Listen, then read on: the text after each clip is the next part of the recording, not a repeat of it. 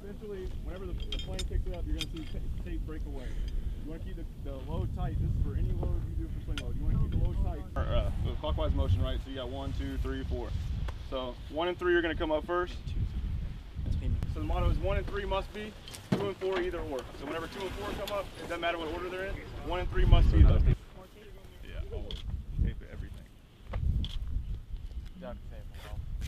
You always want to make sure that the, the castle is facing away from your uh, softball. on my back. like. okay. Oh,